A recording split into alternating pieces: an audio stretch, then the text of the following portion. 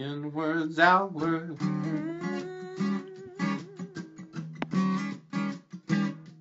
Inwards, outward.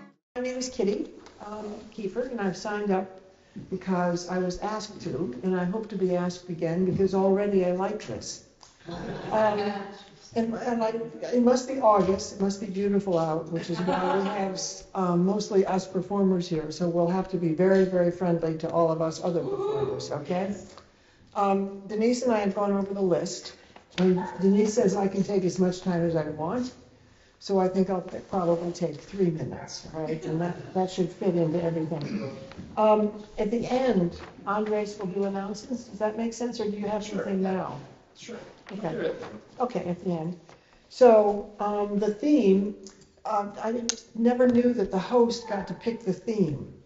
So when Denise said, would you like to do this? I write from prompts. Laura, the artist up here, and I and some other women write together all the time. And so we're always doing prompts. And um, so I thought, oh, wow, I can pick a prompt.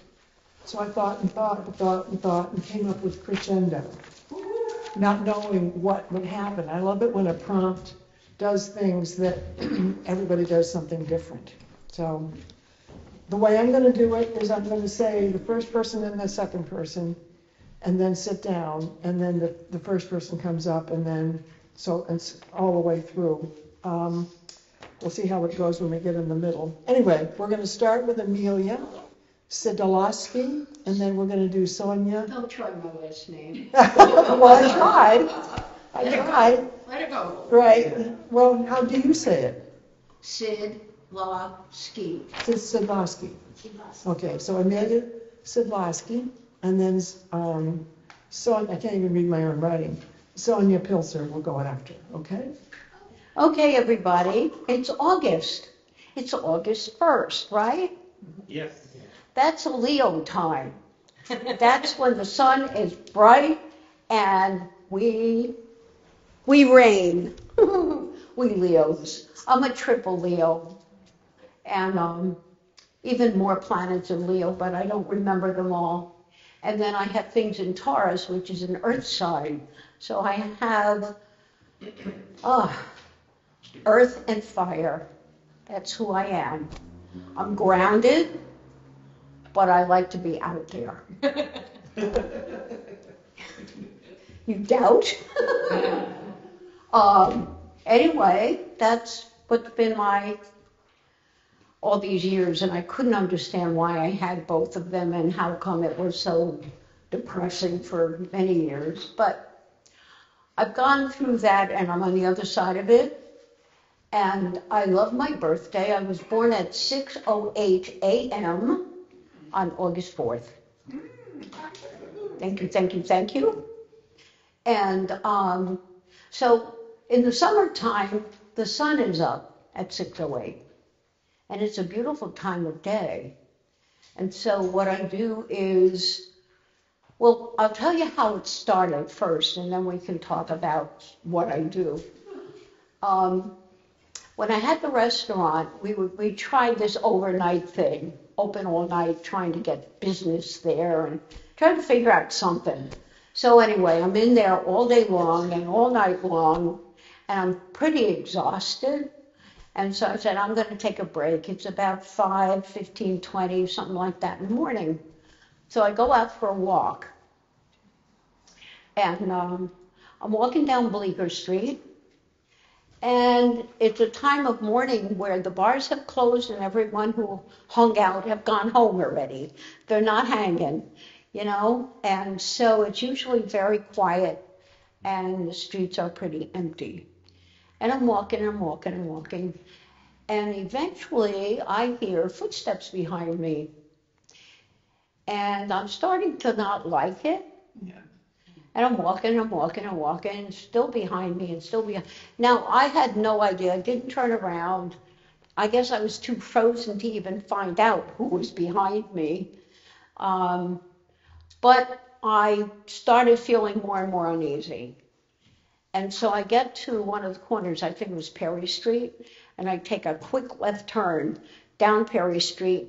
And we, there are brownstone buildings there, and they have a front door that opens to anyone.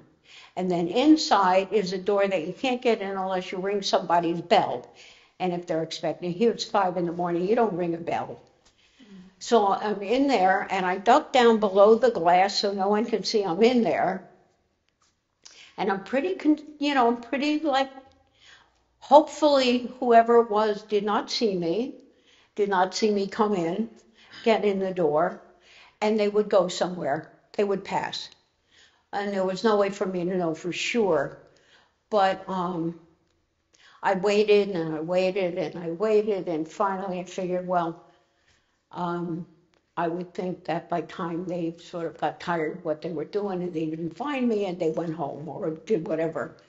Um, but what I became aware of is it was like, to me, it was an idea of the birth canal because it was coming onto my time of birth at 608.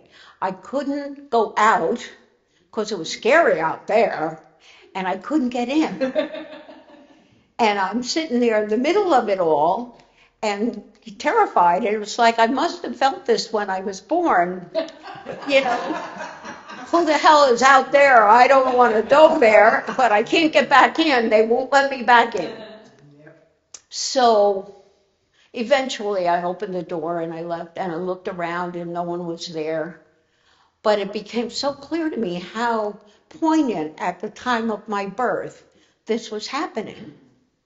And so I've always been aware of that. And um, so what I've been doing from then on is I always find myself out before 6:08. I'll go there at 5:30, quarter of six. And what I like to do is think about the preceding year and all the wonderful people and experiences in my life that year. And kind of like acknowledge it and know that, you know, my life was not empty. It wasn't useless or whatever, that there were people in my life who cared about me and um, were there for me in any way they were.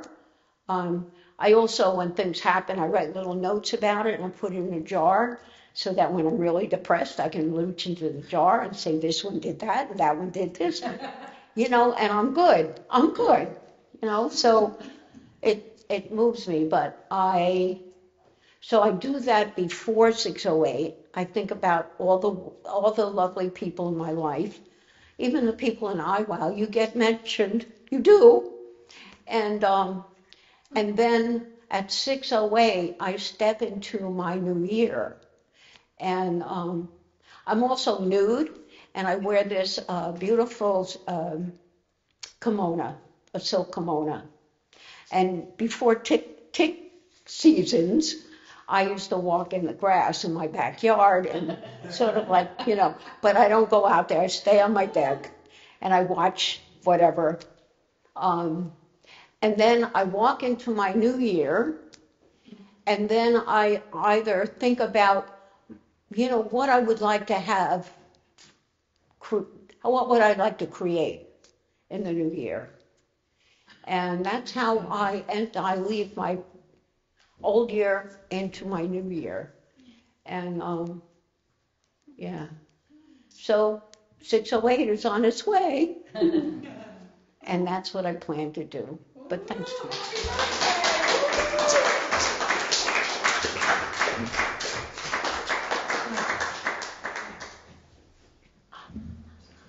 No, someone?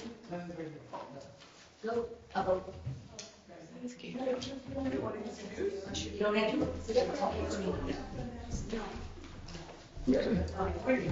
So now we have um, Sonia Pilzer, and after that, um, Jean Bassi. Jeannie Bassis. Jeannie. Jeannie Bassis. Yeah, Okay, thank you, sorry. Um, hi all. What do they call August? The uh, something days? The dog days. So it's the dog days. Okay. So when I first heard the prompt of crescendo, it didn't do anything for me. Um, but then I started thinking about it. And this is sort of what I came up with to begin Started with. to grow on you? The music of the word is what gets to me. Crescendo. Dragging the syllables for as long as I can. Crescendo. Its meaning, a gradual increase in volume and intensity secondary to its sound. And I study piano. Crescendo, the sheer oma- onomatopoeia, which leads me back to early work. As I've said before, I have this sheaf of poems from the 70s. The page is yellow, yellowed, my beloved Olympia typewriter. How I learned to be a writer by listening to the words and how they fit with each other. So here's a little bit of onomatopoeia, however it's pronounced. Okay. Written quite a while ago, but I still like it. The quirk, and by the way, um, one of the things that interests me, and when I work with writing students, is it's not just what the words mean. It's not just about content. It's music, it's sound, it's rhythm. So that's what I'm kind of after today.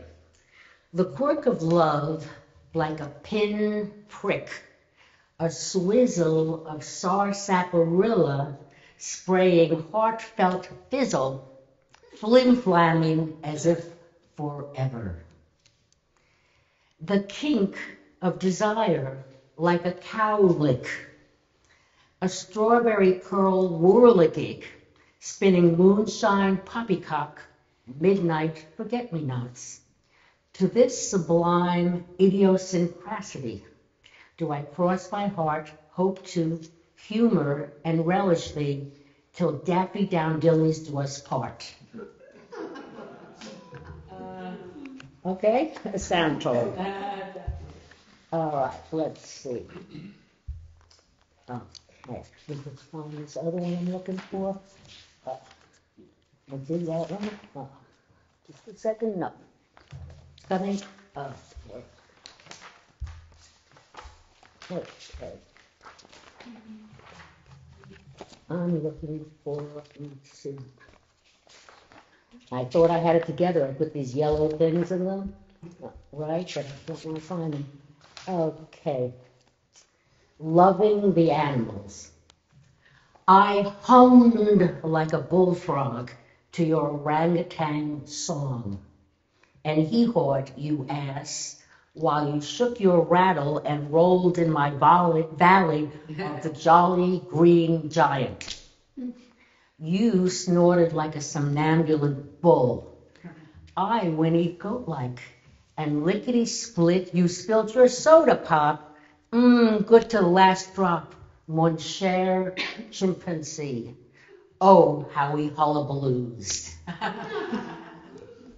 so as you can see, these these are really fun for me, and um, I love the music of words. So um, let's see. Um, one more. Let's see. This is not quite as much, but um, it has some of it. Death of a graffiti artist. Before he slipped, he was spilling hot and spangly colors, naked horse sassing in diamond studded brassieres, the paint just shooting out like jive from the spray gun held in his hand. His, his lightning legs lost their grease, oozing from the edge into darkness. Hell's yellow eye burned like fever until the light turned red, the train thundering loud as God's wrath. The woman followed after the policeman, to whom to share her daughter, to, to, to where her daughter's, where her daughter Opal's son lay, his skinny rib cage crushed like ice. Trying to create a picture. And one more. This is very short. Hard hat. The man's not a brute, though he howls and squawks, eyes glistening in carnivore heat, at an ankle, a calf, breasts. His blood was a chaste red when the electrical needle wed a tender mermaid to his chest, tattooing, tattooing his lust for life. Thank you.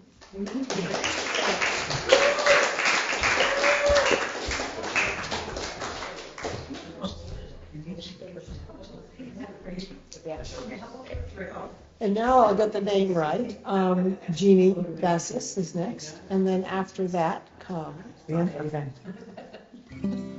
So, um, a couple of things when you started doing your thing, Sonia, got stuck in my head, the old John Prine song, Onomatopoeia, I don't wanna see ya. Can't remember the rest. Um, I got a little note on my phone, one of them little alert buttons just before IRAS started, and maybe somebody else got the same little button. But I just thought if you haven't gotten that little alert, you might want to know that our former president has also been indicted on three counts related to conspiracy and all that crap over that January 6th. Oh, yeah. Yep. Yet more indictments. So, I thought I'd mention that. Um, so, I was here last, at the beginning of last month, it was right around the time, just a couple of days uh, after my mom had passed away. And um, she was 96, and she was, in the old days, it was called a nursery school teacher all the time. I was a kid growing up, and she taught me a lot of songs. So I rewrite a lot of songs. A lot of them were Woody Guthrie songs. Um, and for those of you who don't know this, Woody Guthrie had family prior to the family that Arlo Guthrie was a part of. He had a brother, and has a brother and sister. Um, but prior to that, there was another family, and he had a daughter, and Kathy, who was a tragedy, died in a fire when she was like three. She wrote all these children's songs that time. This is one of them. It's really fun. So I'm gonna teach you guys the chorus, even if you don't know it. I know the same. It's called I'm gonna mail myself to you. I feel like I think it's on like this, like it's Sarah. Oh, and also, so when you learn this song, it really helps to do the hand motions. All right? So the chorus goes like this. I'm wrap myself in paper. I'm gonna dog myself with glue. Stick some stamps on the top of my head. And I'm gonna myself to you. Okay, that's your part. You ready? So look if you think. I'm gonna wrap myself in paper.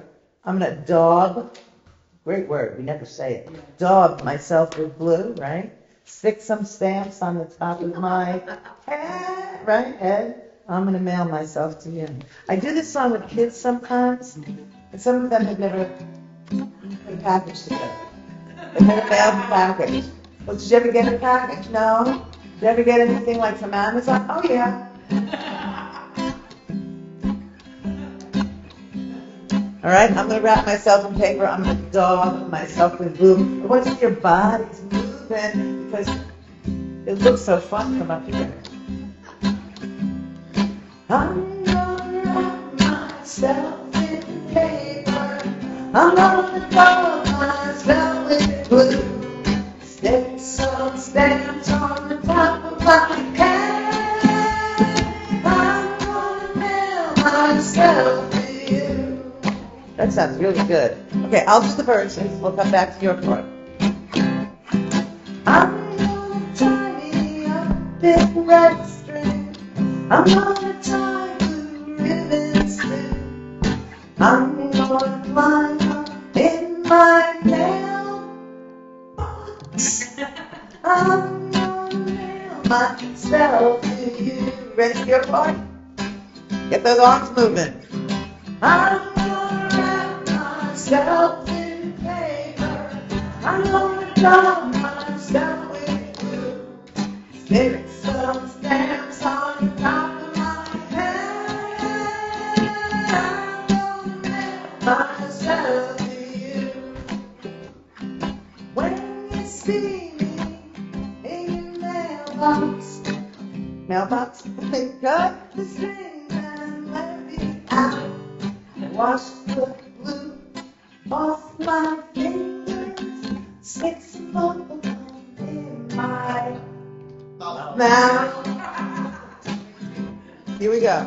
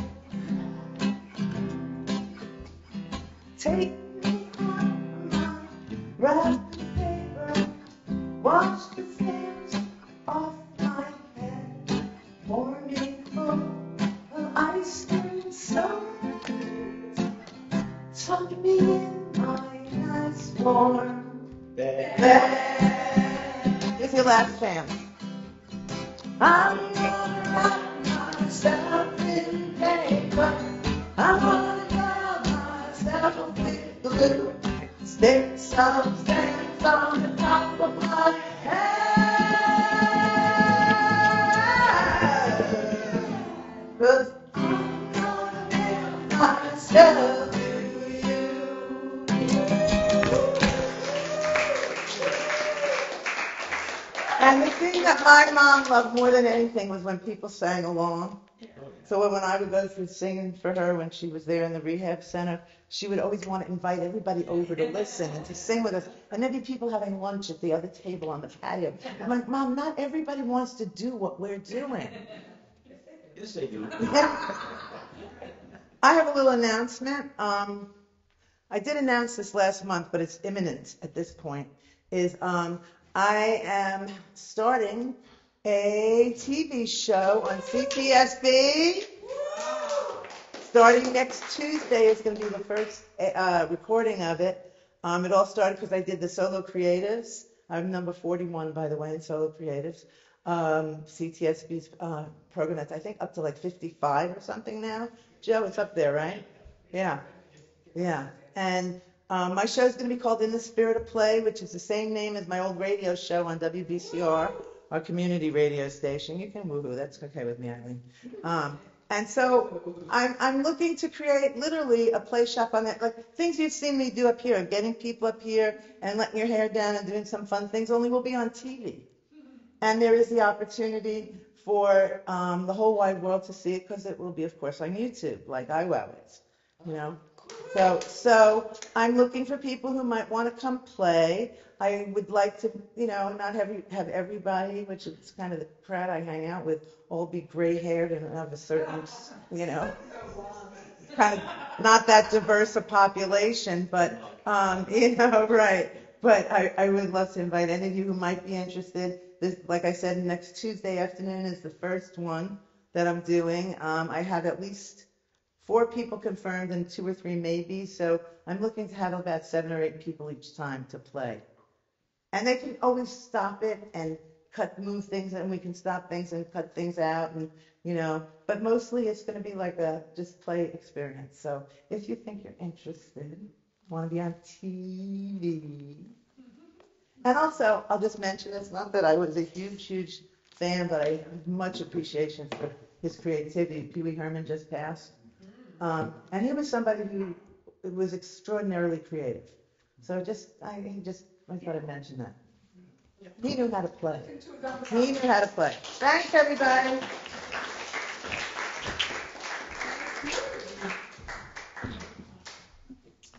Okay, so now we have Larry Zingale, and, um, and after that, it will be Bob Gray.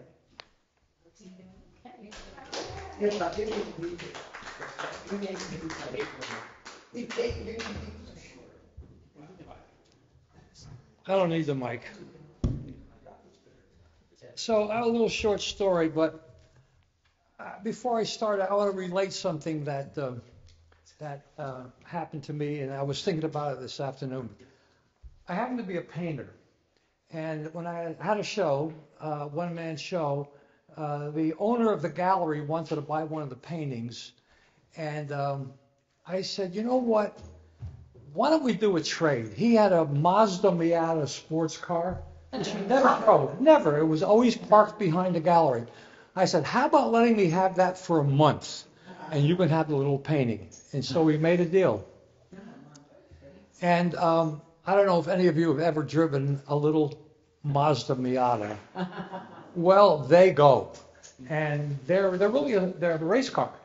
So I had a lot of fun with it. And then this is the story. Uh, one day I was getting on the New York Thruway, and I was going to get off the next exit, which was exactly 18 miles. And here's how nuts I was. I got on and I said, you know what? I'm not going to let anybody pass me. No one. Okay? Now, the speed limit is 60 miles an hour. Do you remember the last time you were on a speedway? Nobody goes 60. Nobody, unless they're over 80 years old. Uh, it's 65, 70, etc. So I said, no, 18 miles, no one's going to pass me. Now I'm going to ask you a question. How fast do you think I had to go for that to happen? 110. 110. No. 80. 95. 100. Okay? 100 miles an hour. And I'm whizzing around everybody. No. And when, you know, I didn't start at 100, I started at 70 and people still wanted to pass me. I go to 75, 80, they still wanted to pass me. And I thought, what does this mean? What is it about? And when I was about a half a mile from the exit, this was 18 miles, and nobody passed me, all of a sudden, a Corvette pulls up next to me, convertible, gives me a wave, and takes off like I was standing still.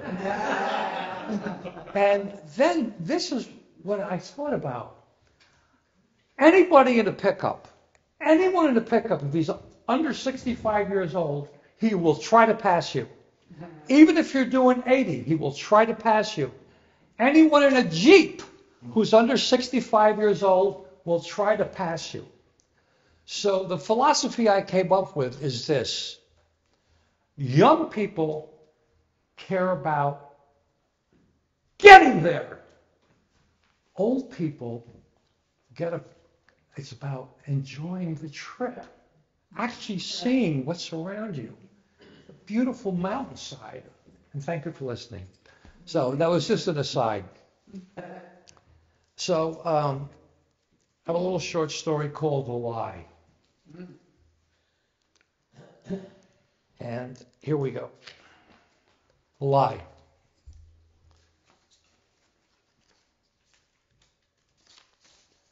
They lay in bed, Smoky strumming the, the steel string. He always picked up the guitar afterwards and fooled with it. The window was open and the breeze off the lake had blown out the candle. In the quiet darkness, Hannah whispered, Play something sweet, Smoke. Oh, I'm, I'm just messing around, he said. He was sleepy and a little too red wine loopy to come up with anything good. He fingered a C chord, progressed to an F, and finished up with, with a G. The notes fluttered up to the ceiling and faded into silence. She was warm and soft and naked, and she curled into him like a cat. Sing about us, she repeated, something sweet. Her eyes were closed. She slid her hand into his. Smoky picked out a different chord progression, fingered the notes slow and easy, the lake breeze cool on his face, and a song came to him. Not a new song, a song his father used to sing when the family took the Sunday drives in the shiny new Buick. Just Molly and me, and baby makes three. I'm happy in my blue heaven. Hannah slept. Smoky lit a cigarette and stepped outside onto the small back porch to look at the moon hanging over the lake and the distant pine trees. He enjoyed the aloneness and the smell of the night forest and the gentle quiet. He thought about the game he'd be pitching tomorrow against the Jayhawks. He had faced them once before, a nasty lineup, especially the middle three, Oakes, Flanagan, and Giglio. He was gone middle of the fourth. Giglio had scorched his fastball into the center field bleachers. Still, his arm felt pretty good, and he was sure he could get the job done. He was sleeping, uh, and then he wasn't. Hannah was sitting up, leaned against the wall, arms crossed over her breasts. She was staring at him. Smoky blinked. What is it? he said. He reached for the matches on the bedside table and relit the candle. Why'd you pick that song? What song? Blue Heaven. Why'd you pick it? I don't know. My old man used to sing it. She lay back down, facing the wall. Smoky heard the soft sobbing in the dark room. He glanced at the alarm, 135. What's wrong? he said. He waited in the candlelight. And baby makes three, she said to the wall. What? He lit a cigarette. What the hell was she saying? Why are you crying? I'm two months late. Late for what? She turned to him scared. God, don't you get it? No. I'm pregnant. She stopped crying then and looked at him, waiting. Smokey said nothing, and then he said, Who says? It was all he could think of. I missed two periods. Smokey stuffed out the cigarette, glanced at the alarm. 138. I never miss, never. Smokey slid out of bed, threw on a pair of jeans and a t-shirt, and slipped into his loafers. I need to take a walk, he said. A walk, she said, astonished. Are you coming back? He closed the door quietly. He wasn't sure, but she might have been crying. Smokey walked to the lake, to the far side where it reached the edge of the pine forest. He picked up a rock and threw a sidearm curve into dark water. It skipped and skipped again, and it sank into the darkness. He picked up another rock and threw his two finger fastball. It whizzed in the night and skipped a number of times before it sank. Strike two, he said. He looked up and saw an eternity of stars. He looked into the forest, the rows of pines melting into blackness, and the forest told him nothing. He picked out a target, a birch tree he assessed to be 60 feet, 6 inches away, went into his windup and threw his bread and butter pitch, split finger slider, old reliable, hit the trunk dead center, waist high. It made a hard sound that echoed across the lake. Strike three, said, you're out. The breeze turned cold. He shivered. He wanted a cigarette, but the pack was back in the room. Walking back along the edge of the lake, he said, Jesus Christ, I'm only 20. In the dark room, the candle still lit, he got into bed. He felt her warmth. She was awake. You came back, she said. Of course I came back, he said. I'm pitching tomorrow. Her hands covered her eyes, shoulders quivering. Jesus, Hannah, don't cry. I'm here, ain't I? What should we do? The crying didn't stop. I got to pitch, Hannah. Too loudly he added, Go to the doctor tomorrow. Find out what the deal is. I, I will. Her shoulders became still. It became quiet. And then she said, I'm probably worked up over nothing. Yeah, he said. Clara used to miss her periods sometimes. Doctor said it was her diet. She was too skinny or something. Maybe, he said. He glanced at the young woman laying with him in the candlelight at the fullness, the rightness of her youthful body. The alarm read 222. He walked the first two batters on eight pitches. Coach Hilinski watched sour-faced from the dugout steps. He motioned Huff to go to the mound and calm down his pitcher. What's going on? Huff asked. I can't find the zone, Smokey said, sweating under the hot sun. Huff spit and wiped his mouth. Your mechanics are off. Let up a little, for Christ's sake. Your fastball's fast enough. There's no need to put mustard on it. He calmed down then and got Oaks on a pop up. Flanagan chased a low curve for a third strike, and the dreaded Giglio grounded weakly to first. He was out of the inning. Hannah had made the hot chili he liked and served cold buds to wash it down. Afterwards, they sat on the porch and watched the sun go down. Two beers had mellowed smoky, and the sun was warm on his face. He felt good. He took off his shirt, lit a cigarette, and slumped down in the canvas chair. So he asked, You got any news for me? Yes, she said. He waited for her to keep talking, but she remained si- silent. Well, he said. False alarm. She was looking out across the lake. He sat up straight, squinting against the red sun low in the sky. Are you sure? The doctor said so. Dr. Seacamp, yes. Smoky closed his eyes, then opened them and flicked the cigarette over the porch railing. Good, he said, watching the cigarette burn. Hannah kept looking out across the lake. We won today, three to two, he said. I knew you won as soon as you came through the door. I always know. So what made you two months late? Dr. Seacamp said, probably stress. He was gone on a six day road trip, New Jersey, Delaware, Pennsylvania, then back to New York. The Sunday game was a rainout, which got him home late afternoon instead of the next morning.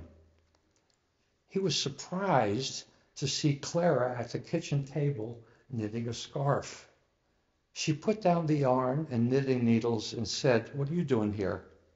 Rain out, he said. Thought you were coming back tomorrow. Where's Hannah? He said. In bed, sleeping. Sleeping? It's four in the afternoon. Don't wake her! Clara gathered the knitting stuff from the kitchen table and snatched her purse from the back of the chair. You bastard, she said. You prick. What the hell are you talking about? As if you didn't know. You're all the same. Her hand was on the doorknob. How could you let her go through that alone? I have no idea what you're talking about. And you have no idea what it's like. If you can't be a man about it, then keep it in your pants. When he was alone, he stood in the middle of the living room, staring at the closed bedroom door. The suitcase he was holding felt impossibly heavy. Thank you.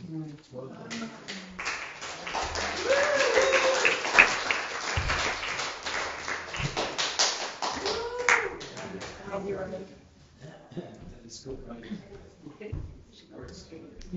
Larry. Um, Next, we have Bob Gray, and then after that, we'll have Steve. Larry had a real good story. I like that. I had something serious, but I might read it anyhow. But it can't be all serious all the time, can you? No. Um, I went to Mississippi to study William Faulkner years ago, and we were told besides studying, we should go down to to the countryside to see what the life was like. And uh, okay, so we took some back roads and we popped out in Gulfport. And right in front of us was a big sign said uh, deep sea fishing derby. No, no, fishing rodeo. That's what fishing derby would have been. So a deep sea fishing rodeo, which kind of all kind of great images of people riding dolphins and you know, lassoing whales. But, but what it was was a big tent about an acre in diameter, whatever area square, and there were all ice tables with every sort of fish imaginable you can think of, all with their eyes look. And that was the rodeo. There was a kids division and a women's division. But anyhow, that was a letdown. But we headed for the midway, and uh, this my friend. Three of us went down in my F-250 down from Hattiesburg, and uh, Brian was from Kansas, and Trevor was from New Zealand, and uh, it was me. And anyhow, we hit Midway, and Brian saw a tent that had an exhibi- ex- hmm, exhibit of people who'd been bitten by poisonous snakes. And swear to remember, this is Mississippi. You got to remember that. Uh, Trevor never had a corn dog, and they had foot-long corn dogs there, so he had a corn dog. And I saw this sign, said dangerous pig and world's smallest horse. And I said, that's for me. So I went in, and there was this pig, about the size of a sofa, pink with bl- blotches on it, tusks coming out of his mouth like a wild boar, and a fan blowing on it while it lay on uh, straw, panting. And next to it was a little compartment with a dog about the, uh, a dog, a horse about the size of a police dog. Big bulging eyes. Strange. So there's a guy in like three month old greasy jeans running the exhibit. And I said to him, I said, this really the world's largest pig? He said, oh shit, no, I got one twice the size at home. And I said, and I said, uh, is he mean? That shows bullshit.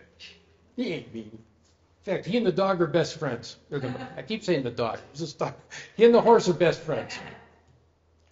Okay, and I said, well, you know, a dangerous pig that isn't dangerous, a second-rate pig, and, and friends with a bug-eyed dog about the size of a German Shepherd, that's enough for me. So we headed back, and I was going to tell my story, but Brian was just focused on what he'd seen from the venomous snakes, people's skin rotting, and so forth. And Trevor hadn't finished his corn dog, so we got in the truck and went. But anyhow, let's see. Hamlet, remember Hamlet said, uh, "Oh, that this too too solid flesh would melt." Okay, now he was upset because after all, his uncle had killed his father, and then they got married, or they wanted to get married. They wanted Hamlet, his mother, and his uncle. And Hamlet uh, was really upset with this, which you can understand. And he said, "Oh, that this too too solid flesh should melt." Now I said that to myself, but I didn't have any problem with infidelity or incense. My pants were too tight. uh, which is something. And so I, I've tried losing weight a lot. I've probably lost 400 pounds. I'm really good at it. And I think in some parallel universe, I probably exist in another corporeal state with my uh, cells all put together again. But that's the end of it. I'm not fat anymore, at least too much. But anyhow, as far as the story goes, I can tell you about my friend the Fuge. We call him the Fuge after the fugitive because he had but one arm. And he was all right. He had lost it in a, in a car accident. And his place his left arm. He had a flipper, we called it. Thing would move under his shirt. Now, Flipper had his right arm, and we always take him to umpire our softball games because he could only call strikes. Strike, strike. You know, he couldn't call balls because he had no left arm. If you know baseball, you're. But anyhow, we. I had a car went to station wagon Ford, which for some reason they called a country sedan. Was a station wagon. Well, we had a we put Fuge in the back, and because he couldn't balance himself, he just had one arm. He would roll from side to side in the back of the car when we went around the corner, and that was fun too. But anyhow, we also had an old mattress back there, and somebody was smoking them up right on Route 102 by the, I don't know, it used to be a big paper mill. My grandfather worked there, but that's another story. And the the the um, roach set the mattress on fire. Not fire, but you know, smoldering, stinky mattress smoke. So we kicked that at the back on the highway. I don't know if it might still be there. I don't know.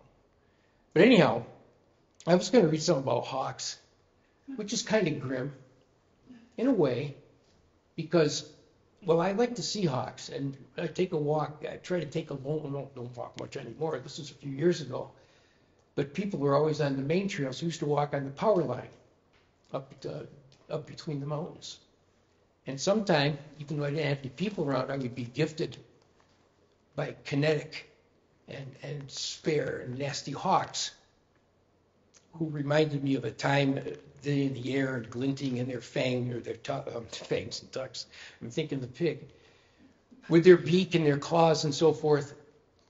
And I loved them for company because they are of another world, a world where man still believed in gods and where man used to uh, live the same way the hawks did by talent and strength and wit.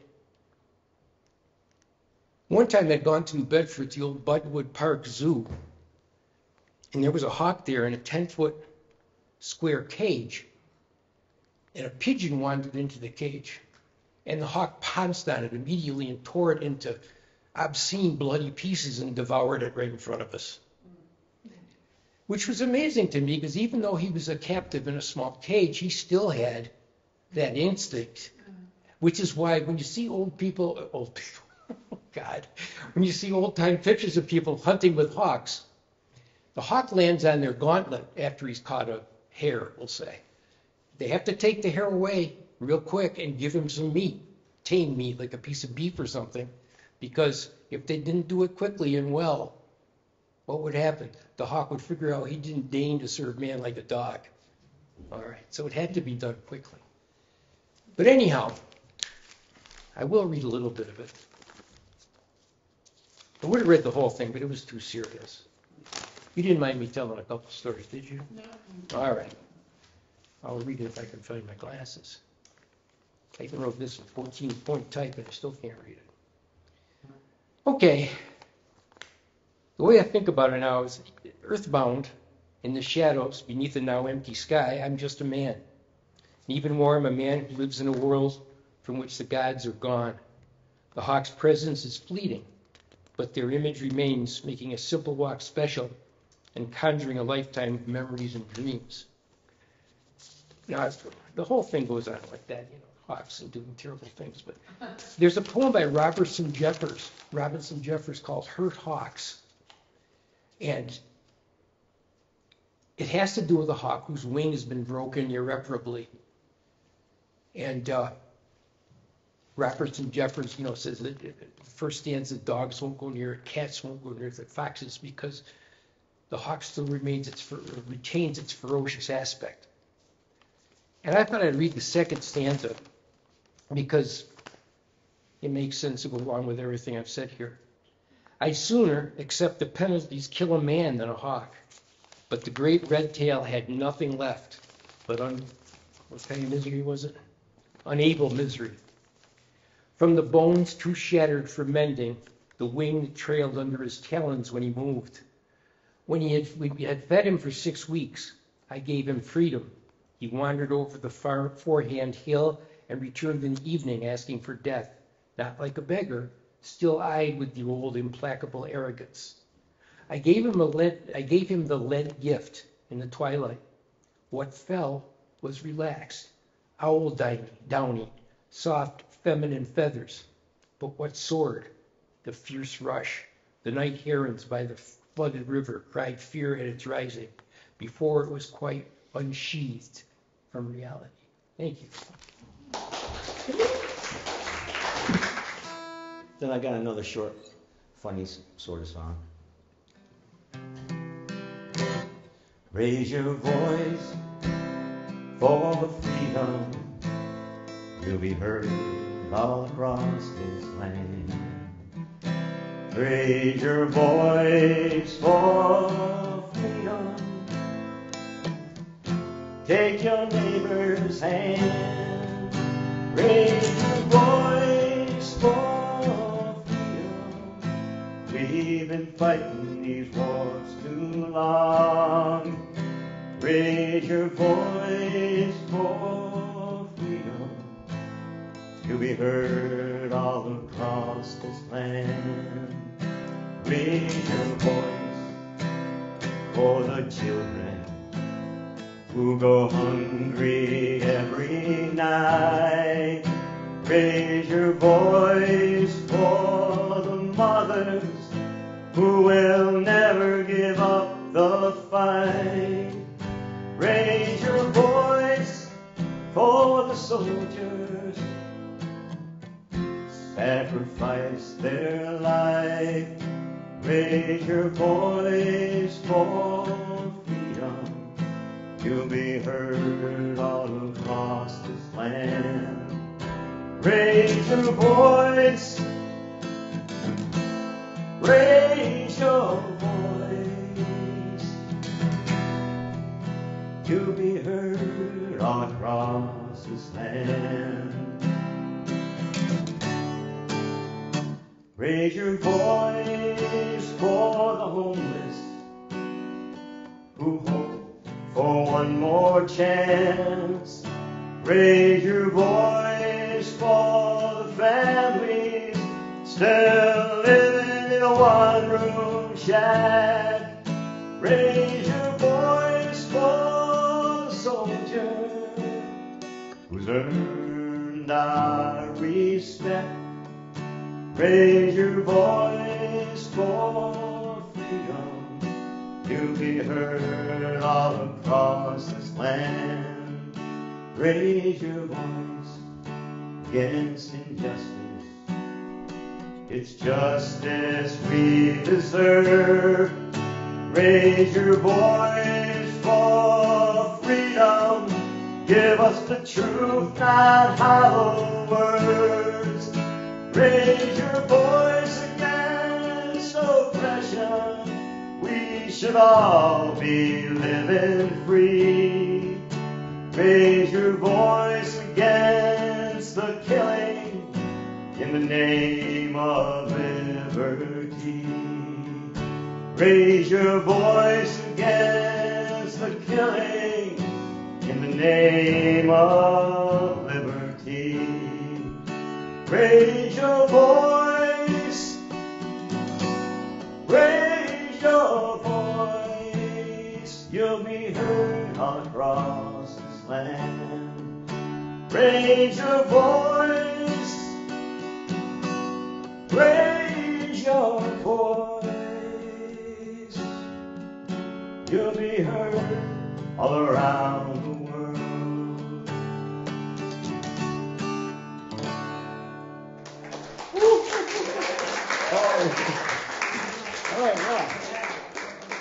So this is a short little song I'm just learning, but I, I want to share it.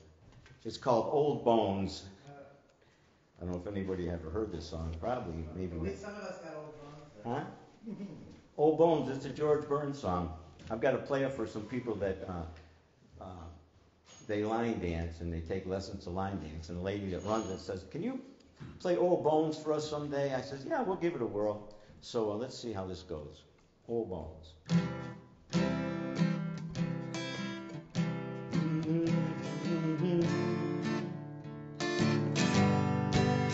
La-dee. La-da-da-da-dee. La-da-da-da-dee. La-da-da-da-da-da-dee. La-da-da-da-da-dee. La-da-da-dee. I think that's how it goes. Oh, Old bones inside an old raincoat, old bones inside of old shoes, old friends at hotel come by to wish me well and keep me up to date on all the old news. Sometimes have a little drink of whiskey and I fall asleep in my chair and I dream that I'm a man much younger than I am. I bet you think by now that I wouldn't care. But I love life, I'd like to do it again. Though I might not be much more than I've ever been. Just to have the chance to turn back the hands and get my life begin. Oh yeah, I'd like to do it again. It's time for taking it easy. It's time for taking it slow. Old bones don't move as fast as they did once in the past. Now if I have to run, I just don't go.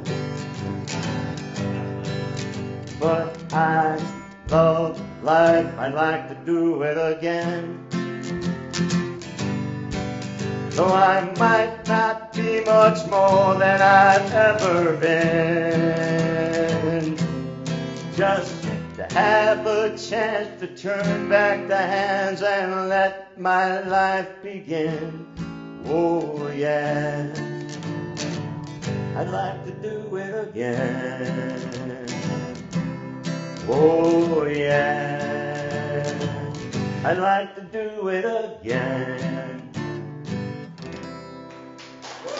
All right, well, thank you. Thank you very much.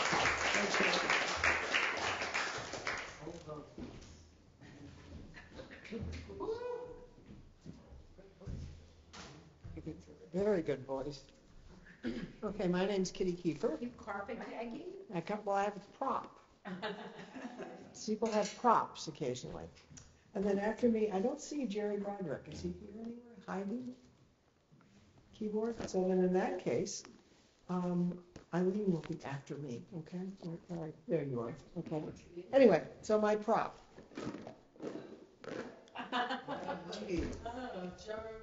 A jar of dinosaurs. It's a bucket of dinos. Okay?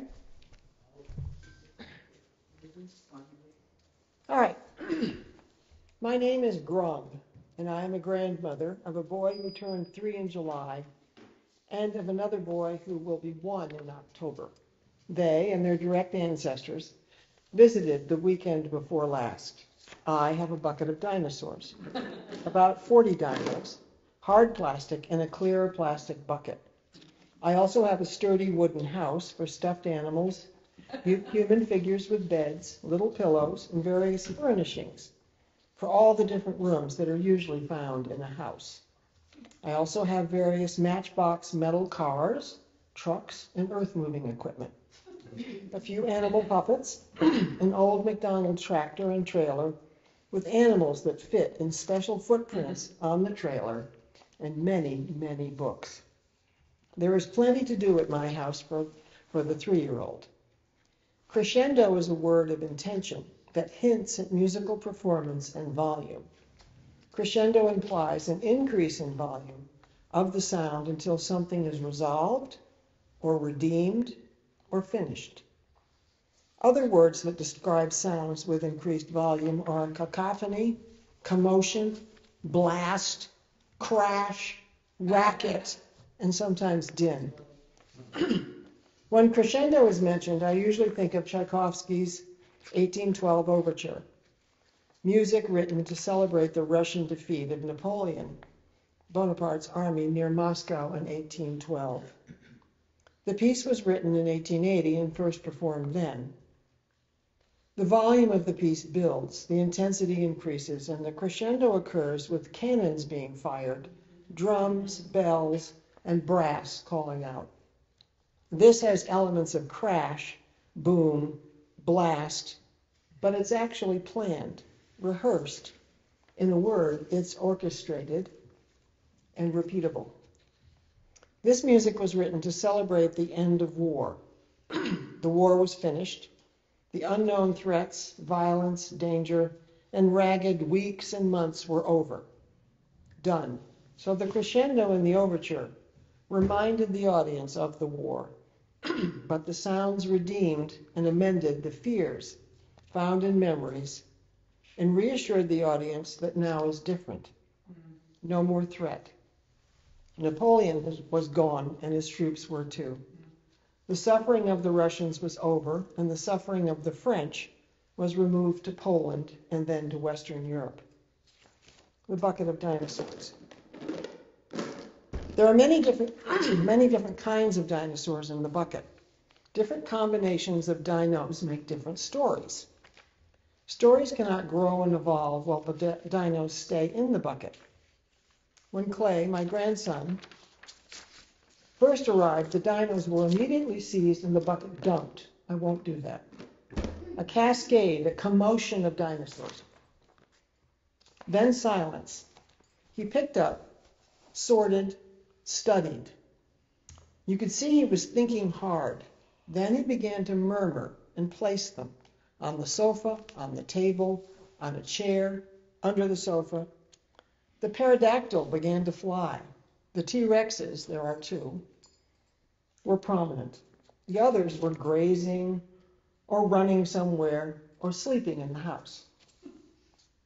After we ate supper, he and his brother had a bath and went to bed. I picked up all the dinosaurs and put them back in their bucket.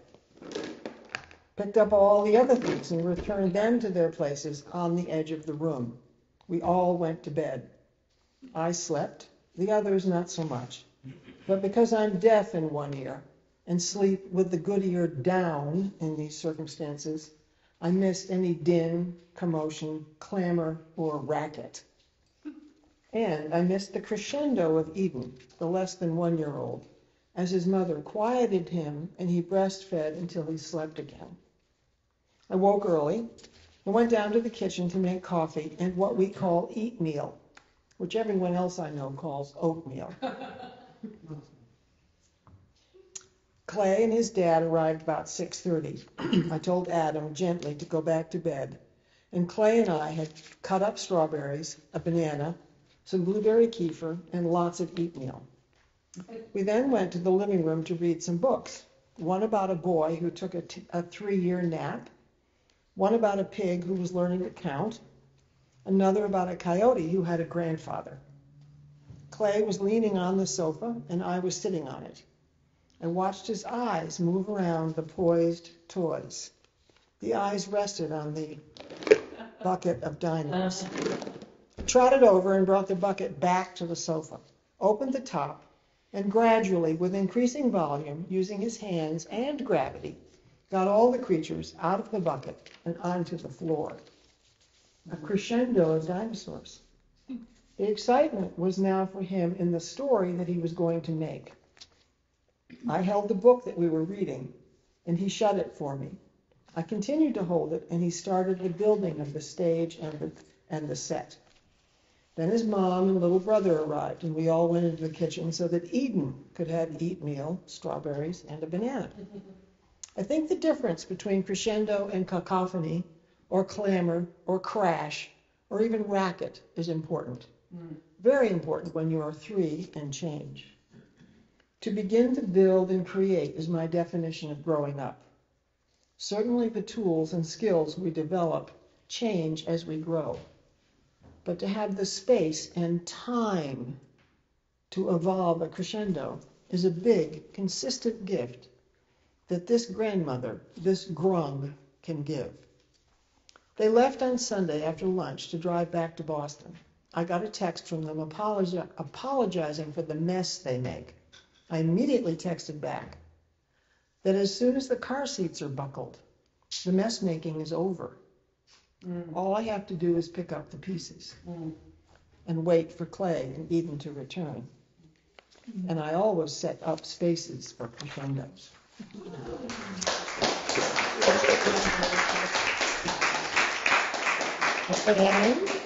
I am now turned on. Don't get too excited. Okay, no one got that joke, right? Um, so, you know, I, I love to be loud.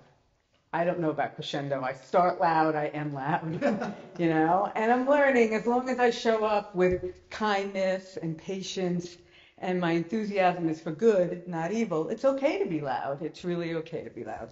Some people might misunderstand me, but someday maybe they'll see the genius behind it. But it's just who I am. This is a story I wrote a long, you know, I started writing about four years ago. Um, and this is a story, the first one where I felt, hmm, I don't know. I don't know. It, it, it's different than what I usually write, but it reminds me of a time in my life where it wasn't okay to be a crescendo. It was only okay to be a flat line. He woke, it's called The Gap. He woke up miles past his stop, disoriented. Slowly opening his eyes, he was keenly aware of how tightly they had been shut.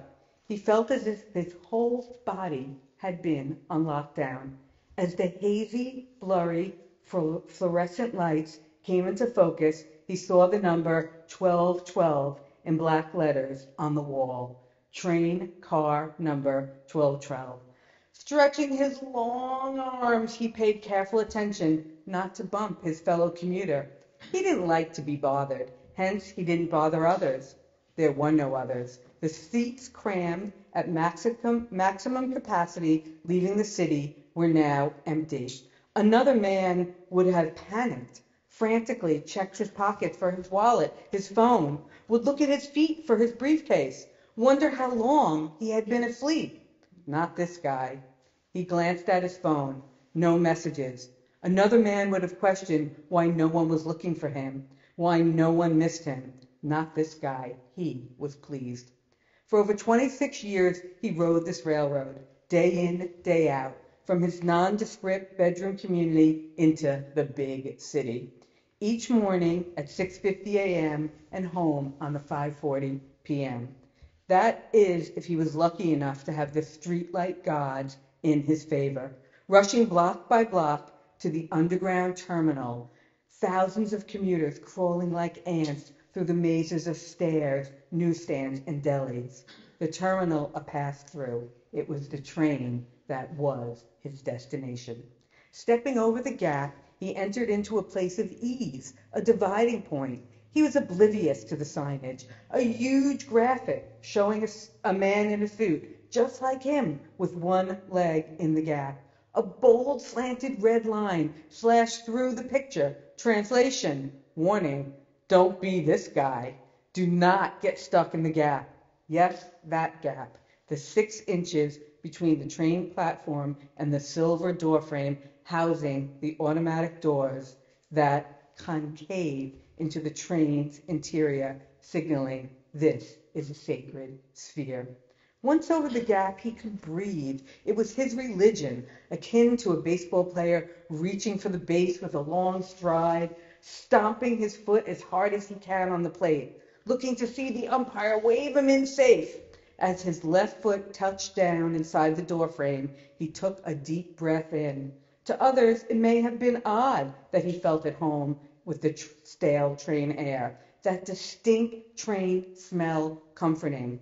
Fingers touching newspapers, sweet ink, wet ink emitting through the air as commuters robotically turn pages, droplets of burnt coffee oozing from cheap paper cups sporting the logo World's Best Coffee, the brown sticky li- liquid hardening in gooey beads on the gritty laminate. Lingering perfume scents from well-dressed women, sour body odor releasing from laborers after long shifts working in boiler rooms or with heavy machinery, each with two cans of beer, sinking into the uncomfortable pleather seats, carelessly dropping their empties by their feet. The cans roll around. Passengers unconsciously kick them as they rush to find their place for the ride home. Then, as the train gets into gear and lurches forward, inertia pushes them. Just like each commuter searching for a seat, each can searching for a landing spot. Amber liquid drizzles out as the cans roll, making the floor slick, sticky and slippery like a dive bar at closing time. All of these smells, the sweet and sour, intermingling as if they know it is their only chance to connect, to truly see each other, coming and going, passing through the seats on car 1212. Arriving at his office, he sat silently in the cubicle on the 18th floor of a 22 store building, 22 story building in the middle of a busy city. Over the padded wall, he could see across the street another building very much the same as his. His mind wondered about that office. Was the copy faster? Did they have more pastries? Did the bosses take longer to martini lunches and pay less attention to their staff? Would working there provide even less accountability for his daily tasks, his accounting of other people's lives, entering transactions, sorting categories, and making reports? Another man might have thought about pay rate. Could he earn more than the other at the other office to support his family? Would think about career advancement and opportunities to excel in his chosen field, about solvency and prospects. Not this guy, not this guy who needed the putrid train smell to tell him who he was, to make him realize that it was only in transit that he fully existed. This morning, his empty soda, th- that morning, his empty soda can hit the garbage pail rim and bounced to the floor. His coworkers lifted their heads above their partitions to see what was going on. He silently shook his head from side to side. Once the commotion settled down, he heaved himself up from his office chair, picked up the renegade can, and placed it firmly in the garbage without making a sound. He was used to not making a sound. On the train heading home, with no one looking over his shoulder, he could breathe, really breathe. That is where he felt free. He could be fully inside himself with nothing on either side. Inside the train, the only place to go, either the stinky restroom or a bold move to another seat in another car. There was no way out until the double door slid open with a smooth motion into the wall of the train. At that moment it closed. Again, he felt whole. This day was not in particular. It was curious to him that he missed his stop, slept through the entire train ride home. This did not happen often. More precisely, that is to say, it rarely happened. As he stepped out into the cold, dark night air at the last stop on the line, he was surprised, dismayed, to come face to face with his wife.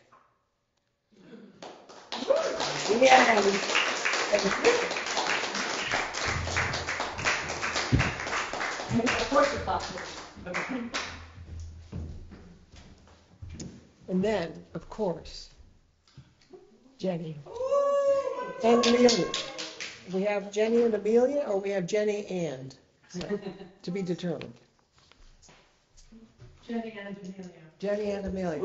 Okay, so Jenny Clark and Amelia. And you can sort of last name. Who's this gonna be? a little bit.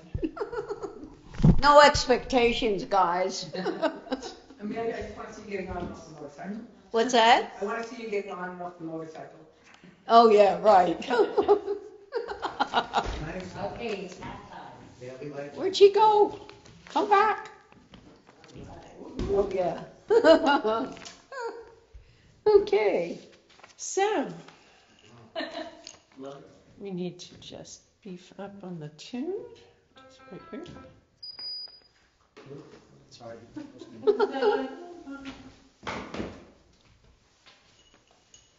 All right, kid, kid, kid. So, All right?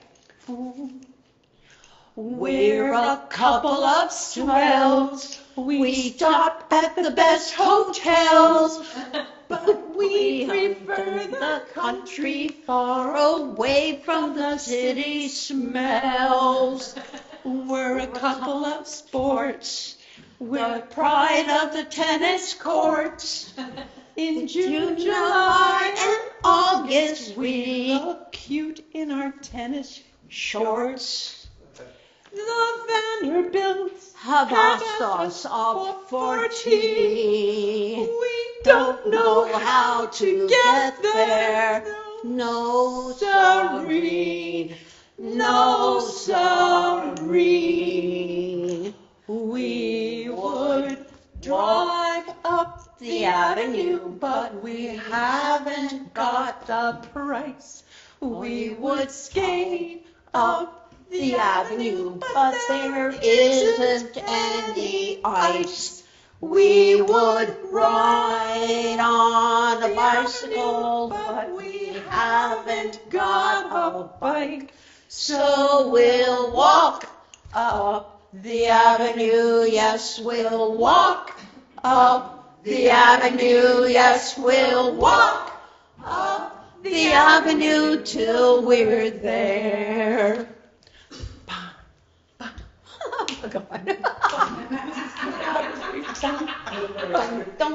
Okay, now our part.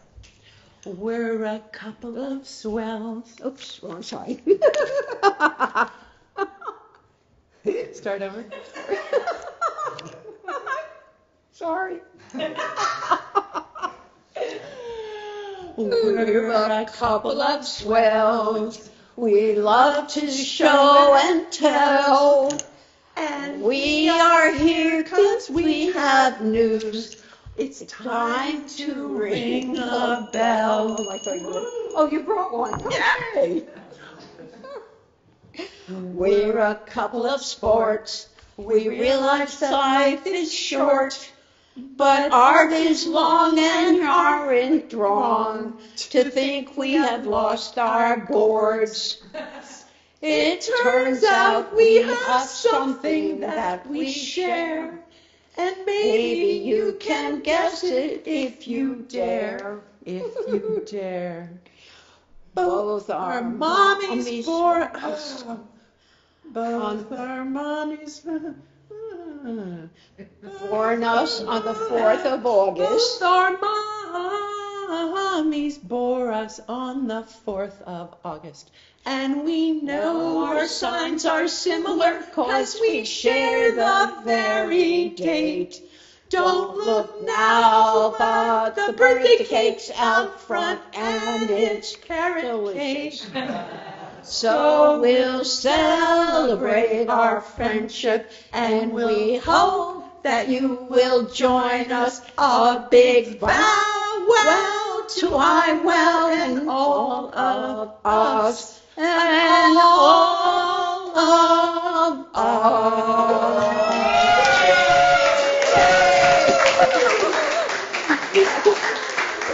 Thank you, thank you, thank you. Thank you, thank you, thank you. Oh, yes. You really both want to? Is your birthday? Yes. Yeah, we're both, we're both August 4th. Yay. True story. How do you like that? Who figured that one out? We just, we just were so happy to, to figure it out. So it looks like we have a new contestant. Right. You can you stay there, because I'll musical with you. Oh, how fun. Okay. Just want to make the announcements for the You TV. gonna do something? Glasses, yeah. Hmm? This is Rosalind Reese will now join, join the crowd. Okay, let's move out of here. We're sitting What? here. Why? Because Rosie wants us. Yeah, so, um.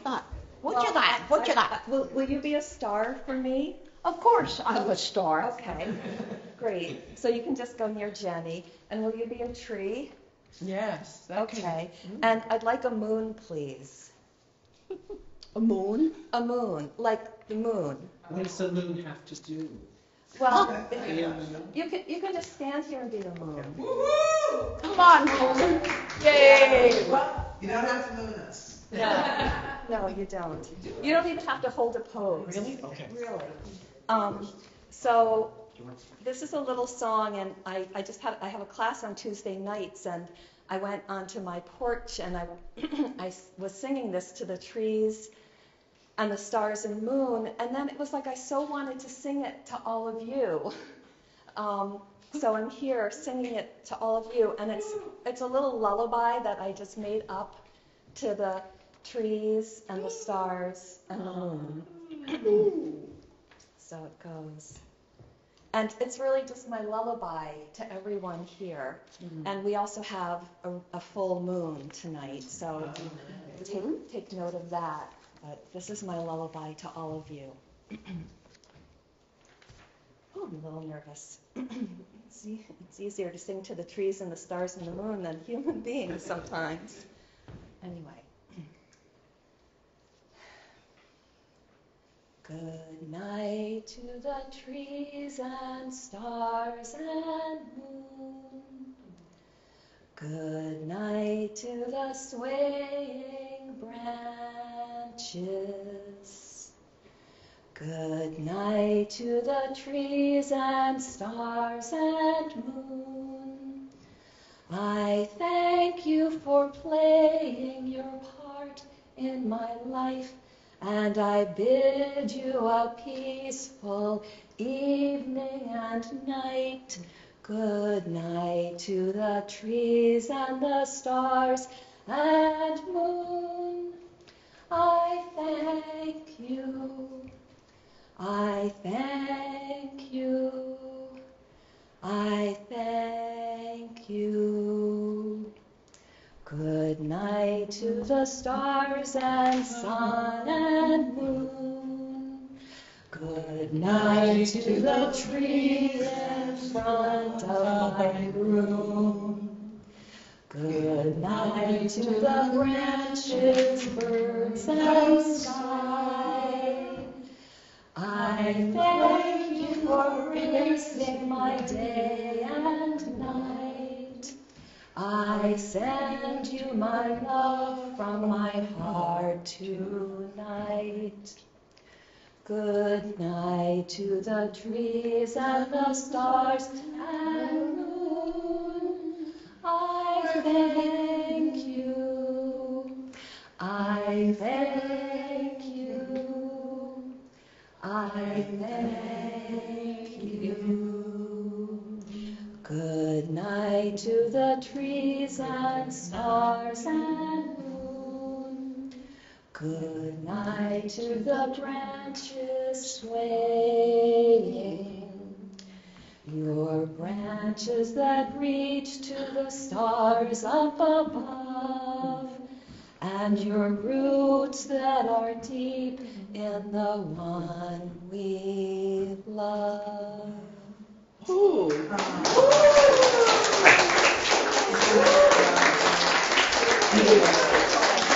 Beautiful.